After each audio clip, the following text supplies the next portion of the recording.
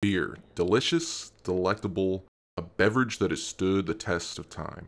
But how is it made? I'm Sudsy Sam, a brewer with five years of experience under my belt, and today I'm going to be showing you the process of making beer. The beginning of making beer almost always starts off the same, choosing the appropriate grains.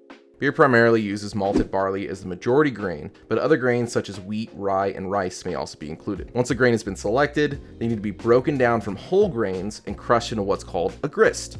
The main way to process these grains is through a mill. Grains go into the top, fall through a set of rollers, and are then crushed, turning into a mix of flour and husks that make up the grist. Once all the grains have been crushed, it's time to actually start making the beer.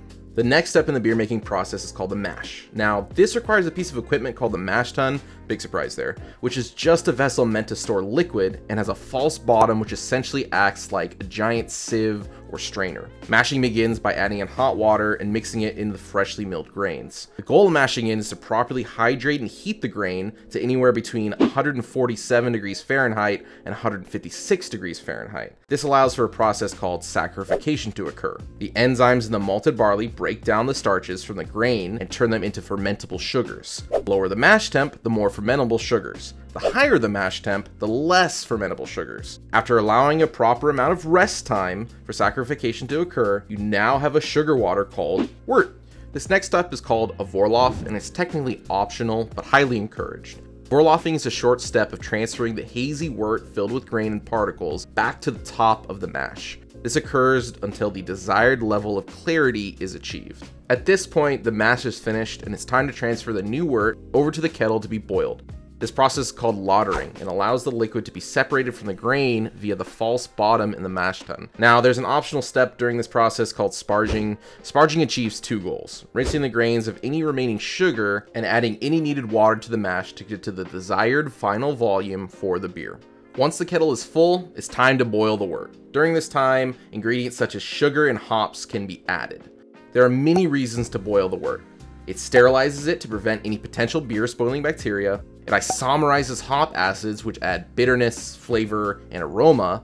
It dissolves any added sugars into the wort, which adds sweetness and alcohol via fermentation. It separates proteins from the wort, and it removes sulfurs from the beer as well. Now that the wort has been properly boiled, it is almost ready for fermentation. The next step is to separate any solid matter like hops and proteins, which is done via a whirlpool. Whirlpool spins the beer around, causing any solid matter to gravitate towards the middle of the kettle. The whirlpool is stopped, and the wort is pulled from the side of the kettle, leaving any solid matter behind. So now the wort is ready for fermentation. It just needs to be cooled down to the proper temperature and transferred to the fermenter. This step is called the knockout. The wort is sent through a piece of equipment called heat exchange, commonly referred to as a chiller. Cold water is run adjacent to the hot wort, bringing it down to fermentation temperature. This can be anywhere from 60 degrees Fahrenheit to 74 degrees Fahrenheit for ales and 48 degrees Fahrenheit to 58 degrees Fahrenheit for lagers. Once fermentation vessel is full, yeast can finally be added. The yeast will slowly eat the sugar from the wort and convert it into alcohol, producing CO2 in the process. Beers can take anywhere from one week to up to eight weeks, depending on the style. After fermentation is finished and yeast has had the proper amount of time to condition out any weird flavors, the beer is crashed down to serving temperature, carbonated, clarified, and ready to drink. Yum. So, just to recap, first you mill your grains, then you mash in with those grains in hot water. Afterwards, you Vorlauf to clarity, you take the beer and lauter it over to the kettle, sparging during that time. You then bring the beer to a boil, adding in ingredients like sugar and hops. Afterwards, you whirlpool. Then you knock out, cooling down the beer into the fermentation vessel where you pitch your yeast and let it ferment until it's ready to go.